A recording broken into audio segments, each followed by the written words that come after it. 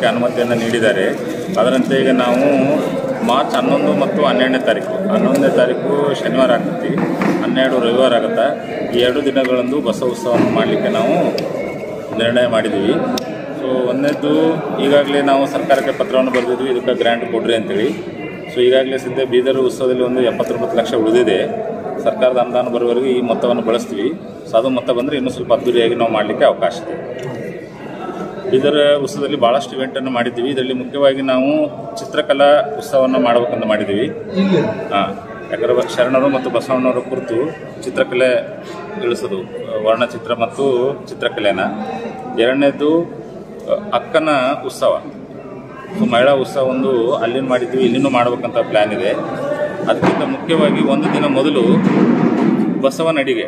ಅದಕ್ಕಿನ್ನೂ ಸ್ವಲ್ಪ ಯಾರ ಹೆಸರು ಹೇಳ್ತಾರೆ ನೋಡ್ಬೇಕಾದ್ರೆ ಬಸವನಡಿಗೆ ಅಂದರೆ ಎಲ್ಲ ಸಮುದಾಯ ಜಾತಿ ಜನ ಎಲ್ಲರೂ ಬಂದು ವಾಕಿಂಗ್ ಮಾಡ್ತಾರೆ. ಸೊ ಬಸವನಡಿಗೆ ಒಂದು ದಿವಸ ಇರ್ತೈತಿ. ಸೊ ಅದರಿಂದ ಸೊ ಅವತ್ತು ಕಾರ್ಯಕ್ರಮದ ದಿನ ಮೆರವಣಿಗೆ ಇರ್ತೈತಿ. ಬೆಳಿಗ್ಗೆ ಸರ್? ಆ, ಬೆಳಿಗ್ಗೆ. ಸೊ ಟೈಮು ಎಲ್ಲ ಮತ್ತೆ ಅಂದ್ರೆ ಆಲ್ಮೋಸ್ಟ್ ಹೆಚ್ಚು ಕಡಿಮೆ ಎಂಟರಿಂದ ಸ್ಟಾರ್ಟ್ ಆಗ್ತೈತಿ. ಕಲಾ ತಂಡಗಳಿರ್ತವೆ ಏಳ್ನೂರ ಎಪ್ಪತ್ತು ಅಮರ ಗಣಾಂಗಗಳ ವೇಷಧಾರಿಗಳು ಇದರಲ್ಲಿ ವಿತ್ ಟ್ಯಾಬ್ಲೋ ಜೊತೆ ಮೆರವಣಿಗೆ ಇರ್ತೈತಿ. ಇನ್ನು ಈ ಚಿತ್ರಕಲೆ ಮತ್ತು ಮಹಿಳಾ ಉತ್ಸವಗಳು ಏನದಾವಲ್ಲ ಇವು ಹನ್ನೊಂದು ಮತ್ತು ಹನ್ನೆರಡಕ್ಕಿಂತ ಮುಂದೆ ಮುಗಿದಿರ್ತಾವೆ. ಯಾಕಂದ್ರೆ ಆ- ಡೇಟ್ಸ್ಗೆ ಲೇಡೀಸ್ ಫ್ರೀ ಇರಬೇಕು ಚಿತ್ರಕಲೆ ಮಾಡೋದು ಫ್ರೀ ಇರಲಿ ಅಂತೇಳಿ. ಇನ್ನು ಮುಖ್ಯವಾಗಿ ಎರಡು ದಿನಗಳು ಏನಿರ್ತಾವಲ್ಲ ಹನ್ನೊಂದು ಮತ್ತು ಹನ್ನೆರಡು ಬೆಳಿಗ್ಗೆ ಹತ್ತರಿಂದ ಹನ್ನೆರಡು ಸುಮಾರು ಬಿ ಕೆ ಡಿ ಬಿ ಕಲ್ಯಾಣ ಮಂಟಪದಲ್ಲಿ ನೃತ್ಯ ಮತ್ತು ಸಂಗೀತ ಉತ್ಸವ ಇರ್ತೈತಿ. ಅಂದರೆ ಹಾಂ ಈಗ ಮುಖ್ಯ ವೇದಿಕೆಯಲ್ಲಿ ಸಾಯಂಕಾಲ ಆರರಿಂದ ಏಳುವರೆ ತನಕ ಸ್ಥಳೀಯ ಕಲಾವಿದರಿಗೆ ಅವಕಾಶ ಇರ್ತೈತಿ. ಸಪೋಸ್ ಅಲ್ಲಿ ಸೆಲೆಕ್ಟ್ ಆಗಲಾರ್ದವ್ರು ಇನ್ನೂ ಬೆಸ್ಟ್ ಏನಾರು ಕಾರ್ಯಕ್ರಮ ಕೊಡೋರಿದ್ರೆ ಪ್ರತಿದಿನ ಮುಂಜಾನೆ ಹತ್ತರಿಂದ ಹನ್ನೆರಡಕ್ಕೆ ಬಿ ಕೆ ಡಿ ಬಿ ಕಲ್ಯಾಣ ಮಂಟಪದಲ್ಲಿ ಸ್ಥಳೀಯ ಕಲಾವಿದರ ಸಂಗೀತ ಮತ್ತು ನೃತ್ಯೋತ್ಸವ. ಅದು ಬಸವಣ್ಣರ ಸಂಬಂಧನೇ ಇರ್ತೈತಿ. ಬಸವ ಸಂಗೀತ ಮತ್ತು ಬಸವ ನೃತ್ಯೋತ್ಸವ ಇರ್ತೈತಿ. ಸಂಜೆ? ಸಂಜೆ ಸಾಯಂಕಾಲ ಅದನ್ನ ಹೇಳ್ತೀನಿ. ಹತ್ತರಿಂದ ಹನ್ನೆರಡು ಬಿ ಕೆ ಡಿ ಬಿ ಕಲ್ಯಾಣ ಮಂಟಪದಲ್ಲಿ ಬಸವ ನೃತ್ಯ ಮತ್ತು ಬಸವ ನೃತ್ಯೋತ್ಸವ ಇರ್ತೈತಿ. ಹನ್ನೆರಡರಿಂದ ಸಾಯಂಕಾಲ ಐದೂವರೆವರೆಗೆ ಅನುಭವ ಗೋಷ್ಠಿಗಳಿರ್ತಾವೆ.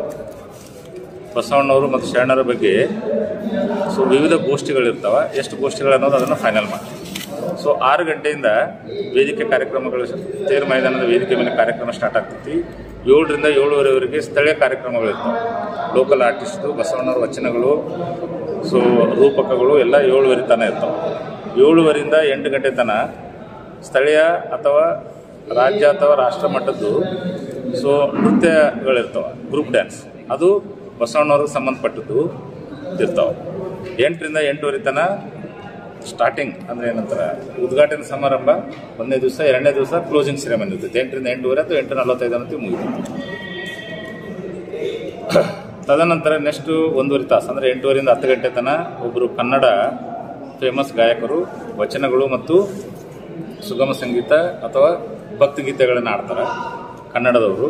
ಅದಾದಮೇಲೆ ಹತ್ತುವರಿಂದ ಹನ್ನೊಂದು ತನ ಅಥವಾ ಹನ್ನೊಂದುವರೆ ತನ ಹಿಂದಿಯಲ್ಲಿ ಅವರು ದೇಶ, ಇದು ದೇಶಭಕ್ತಿ ಗೀತೆ ಭಕ್ತಿಗೀತೆ ಸುಮಗ ಸಂಗೀತ ವಚನಗಳನ್ನು ಆಡ್ತಾರೆ ಸೊ ಒಬ್ರು ಕನ್ನಡ ಸಂಗೀತ ಹಾಡಾಡೋರು, ಒಬ್ರು ಹಿಂದಿ ಹಾಡೋರು. ಒಂದನೇ ದಿವಸ ಇಬ್ಬರು ಇರ್ತಾರೆ, ಎರಡನೇ ದಿವಸನೂ ಸೇಮ್ ಇದು ರಿಪೀಟ್ ಆಗ್ತದೆ ಆಮೇಲೆ ವಿಶೇಷವಾಗಿ ಸ್ಕೂಲು ಮತ್ತು ಕಾಲೇಜುಗಳಲ್ಲಿ ನಿಬಂಧ, ಭಾಷಣ ಮತ್ತು ವಚನ ಕಂಠಗಾಯನ ಈ ಸ್ಪರ್ಧೆಗಳನ್ನು ನಾವು ಏರ್ಪಡಿಸ್ತೀವಿ.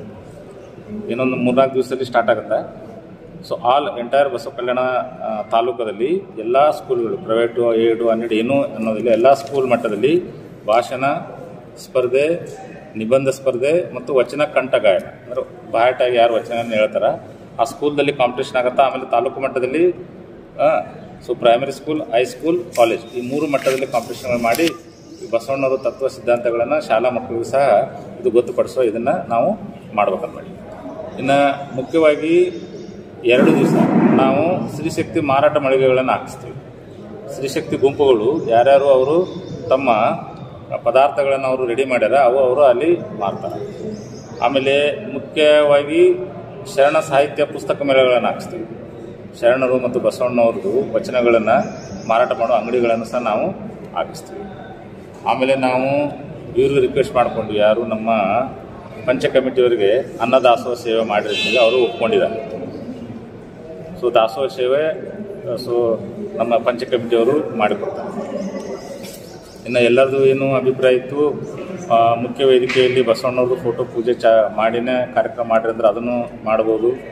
ಆಮೇಲೆ ಪ್ರೋಟೋಕಾಲ್ ಪ್ರಕಾರ ಮೇನ್ ಸ್ಟೇಜ್ ಇರ್ತೈತೆ ಅದ್ರ ಪಕ್ಕದಲ್ಲಿ ಸಮಾಂತರ ವೇದಿಕೆಯಲ್ಲಿ ಎಲ್ಲ ಧರ್ಮದ ಸ್ವಾಮೀಜಿಗಳು ಬಸವ ಕಲ್ಯಾಣ ತಾಲೂಕಲ್ಲಿ ಯಾರಾದರೂ ಅವ್ರನ್ನ ಕರೆಸಿ ಪಕ್ಕದ ವೇದಿಕೆ ಪಕ್ಕದ ಈಗ ನಾವು ಕೂತಲ್ಲೂ ಪಕ್ಕ ಹೆಂಗದ್ರ ಲಿಂಗ? ಸೊ ಸಮಾಂತರ ವೇದಿಕೆ. ಅಲ್ಲೇ ಪಕ್ಕದಲ್ಲಿ ವೇದಿಕೆ ಕಟ್ಟಿಸಿದ್ದು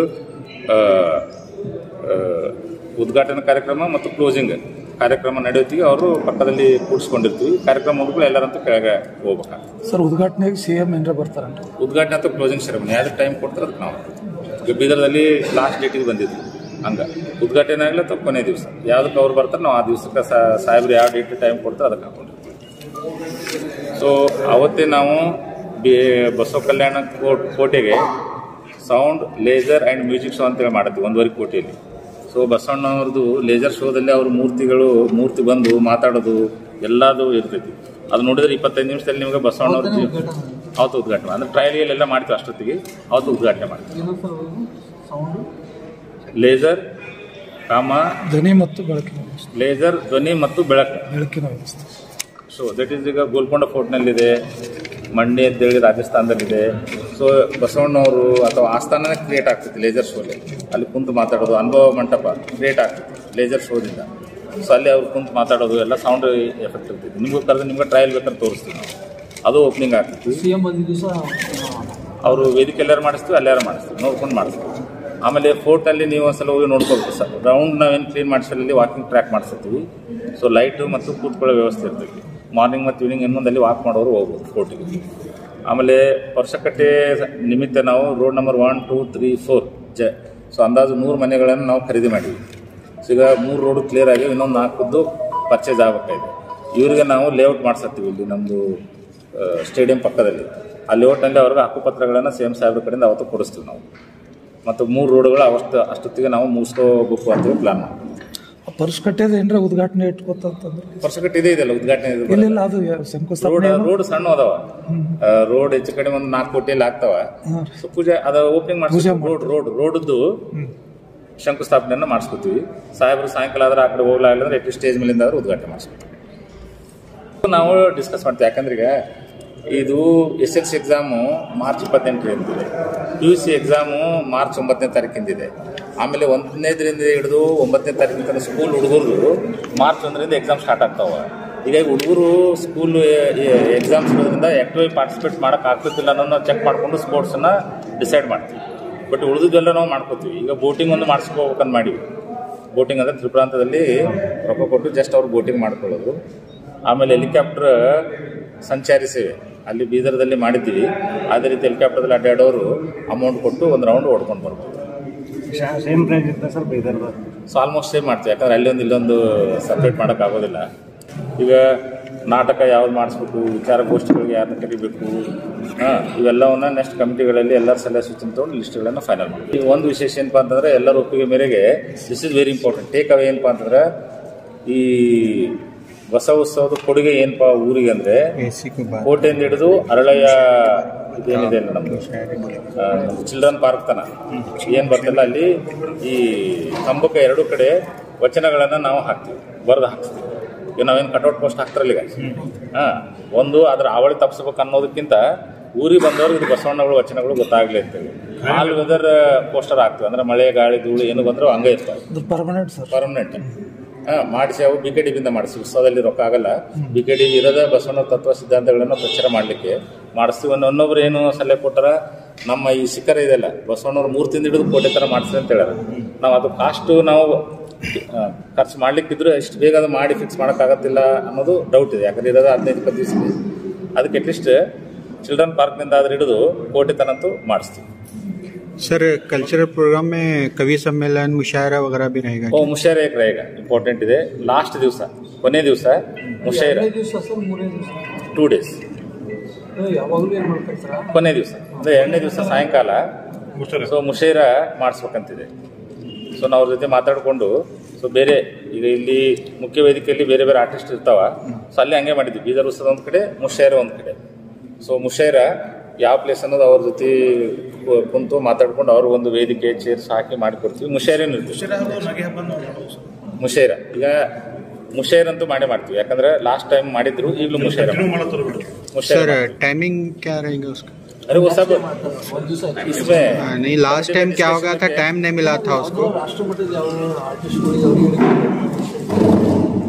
ಈಗ ನಮ್ಮ ಪ್ರಕಾರ ಈಗ ಕನ್ನಡದಿಂದ ಒಂದಿಷ್ಟು ಜನ ಏನು ಹೇಳ್ಯಾರ ರಘು ದೀಕ್ಷಿತ್ ಈಗ ದೊಡ್ಡ ಆರ್ಟಿಸ್ಟು ಬಂದರು ಭಕ್ತಿ ಭಕ್ತಿಗೀತೆಗಳನ್ನ ಆಡಬೇಕು ಯಾಕಂದ್ರೆ ಕಾರ್ಯಕ್ರಮ ಮುಗಿದ್ಕೊಳ್ಳೆ ಮೇನ್ ಸ್ಟೇಜ್ನಲ್ಲಿ ಇದ್ದವ್ರು ಕೆಳಗಡೆ ಬಂದು ಕೂತ್ಕೋಬೇಕಲ್ಲ ಆ ಕಾರಣಕ್ಕಾಗಿ ಹೊರತು ಎಲ್ಲ ಫ್ರೀ ಟು ಪಬ್ಲಿಕ್ ಇರ್ತದೆ ಈ ಬೀದರ್ ಉತ್ಸವ ಅಮೌಂಟು ಮತ್ತೆ ಯಾವ ಅಮೌಂಟ್ ಸರ್ ಮತ್ತೆ ನಾವು ಕನ್ನಡ ಕಚೇರಿಯಿಂದ ಕೇಳಿದೆ ಪ್ರತಿ ವರ್ಷ ಬಸವೋತ್ಸವದಿಂದ ಸರ್ಕಾರದಿಂದ ಗ್ರ್ಯಾಂಟ್ ಬರ್ತಿತ್ತು ಇದು ಕೇಳಿದ್ವಿ ಸರಿ ಲೋಕಲ್ ಆರ್ಟ್ ನಮ್ದು ರೊಕ್ಕ ಇಲ್ಲ. ನಾವು ಬೀದರ್ ಉತ್ಸವಕ್ಕೂ ಇಲ್ಲ ಕೇಳಿ. ಕೇಳಿ ಬೀದರ್ ಉತ್ಸವದ ಏನಿತ್ತು, ಧಾನ್ಯಗಳ ರೊಕ್ಕ ಇತ್ತು. ಧಾನ್ಯಗಳ ರೊಕ್ಕವನ್ನು ನಾವು ಯಾವುದೇ ಬೇರೆ ಪರ್ಪಸ್ಗೆ ಬಳಸ ಮಾಡೋಕ್ಕಾಗೋದಿಲ್ಲ. ಅಲ್ಲಿ ನಾವು ಅಡ್ವರ್ಟೈಸ್ಮೆಂಟ್ ಕೊಟ್ಟಿಲ್ಲ, ಇಲ್ಲೂ ಕೊಡೋದು. ಯಾಕಂದ್ರೆ ನಮಗೆ ಉತ್ಸವ ಇಂಪಾರ್ಟೆಂಟ್ ಇದೆ. ಹಾಂ, ಹೀಗಾಗಿ ತಾವು ಸುದ್ದಿ ರೂಪದಲ್ಲಿ ತಾವೆಲ್ಲ ಸುದ್ದಿ ಮಾಡಿ ನಮ್ಮದು ಬಸವ ಉತ್ಸವಕ್ಕೆ ತಾವು ಹೆಲ್ಪ್ ಔಟ್ ಮಾಡಬೇಕು. ಏನಾರ ಫೀಡ್ಬ್ಯಾಕ್ ಇದ್ರೆ ನಮ್ಗೆ ಹೇಳ್ಬೇಕು. ಫೀಡ್ಬ್ಯಾಕ್ ಅಂದ್ರೆ ಏನಾದ್ರು ಹಿಂಗೆ ಆಗ್ಬೇಕು ಹಂಗೆ ಆಗ್ಬೇಕು ಅಭಿಪ್ರಾಯ ಇದೆ ಮುಕ್ತವಾಗಿ ನೀವು ನಮ್ಮದು ಸೇರಿ ನೀವು ಕೆಲಸ ಮಾಡ್ಬೇಕು. ಯಾವ ಥರ ಪ್ರತಿದಿನ ಈ ಬಿದರ್ದಾಗ ಯಾವ ಥರ ತೊಗೊಂಡು ತೊಗೊಂಡ್ಬಂದಿರಲ್ಲ ಸರ್? ಆ ಥರ ಫೇಮಸ್ ಆರ್ಟಿಸ್ಟ್ ತೊಗೊಂಬಂದ್ರೆ ಜನ